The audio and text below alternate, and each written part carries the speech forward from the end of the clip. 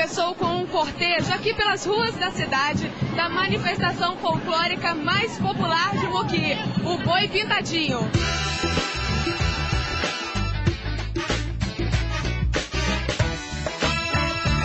Olha, essa festa é levar cinema para a cidade que não tem cinema. Não bastando levar cinema, é, as histórias apresentadas na tela são histórias realizadas por moradores dessa cidade. Duas rotas simultâneas passando por todo o Brasil. O caminhão é, sai de Muqui e segue por Vitória, Mantenópolis, Vila Pavão, passa pelo Espírito Santo todo, pega todo o Nordeste até a região Norte.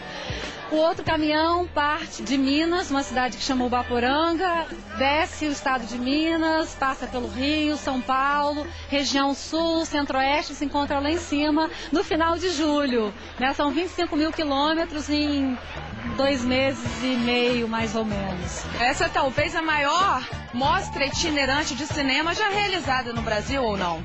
Eu acho que essa é a maior mostra já realizada no Brasil, essa mostra itinerante. Os realizadores dessa primeira edição, eles têm entre 18 e 80 anos, são pessoas com, com formação é, muito formação muito diversa também, então é um grupo muito diversificado que se junta, é, todos com uma questão em comum, né, que é nenhuma ou pouquíssima experiência na produção audiovisual. Levando a vida no arame.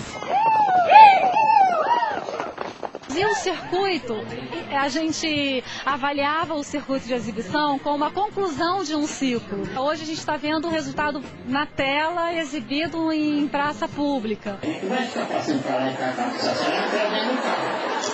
O que, que você achou do projeto? Ótimo, adorei projeto que mostra a cultura da nossa cidade, muito importante. O que estava precisando disso, muitas pessoas não, não tinham contato com o cinema, não tinham noção do que seria um cinema. Eu acho muito interessante que muitas pessoas aqui ficavam admiradas com o telão, aquela coisa linda.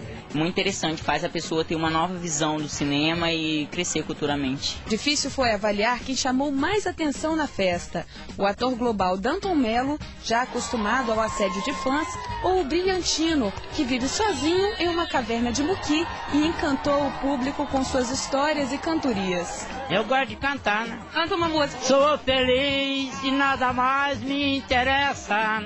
Não vou ser triste nem chorar por mais ninguém. Esqueço tudo até de mim.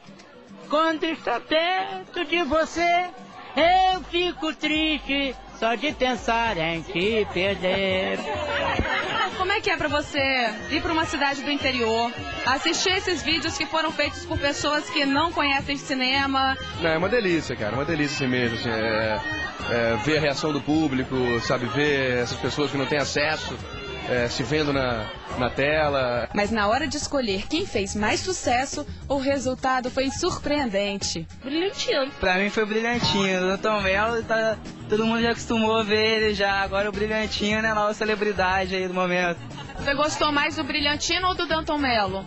Brilhantino, do Brilhantino. Brilhantino, já era acostumado a ver ele assim, mas Danton Mello, né? Falou certo. Muitas pessoas aqui que realmente achavam o Brilhantino o homem das cavernas. E com isso ele demonstrou uma simpatia muito grande, o pessoal riu com as brincadeiras dele, achou que era melhor que o Carlos. Para mim, ele é, a umidade dele é imensa. Cantor não sou porque Roberto Carlos tá na frente, eu não quero derrubar ele. Você tá mais famoso que o Danton Mello, Brilhantino? Eu sou mais que ele?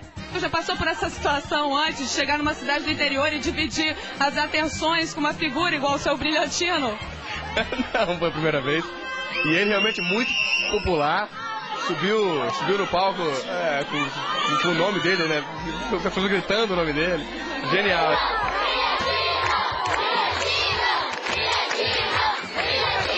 Gente também montou um, um, esquema simples, mas que, que pode ser acessado por quem tiver interesse em acompanhar esses essa, essa jornada de cinema pelo Brasil, que é através do site www.revelandosbrasis.com.br. É recurso de primeira categoria, não? Que é passando a tarde, né? Pela noite zero. Previsão do, do início da, da segunda edição, né, do segundo circuito Revelando os Brasis, que vai acontecer ainda esse ano.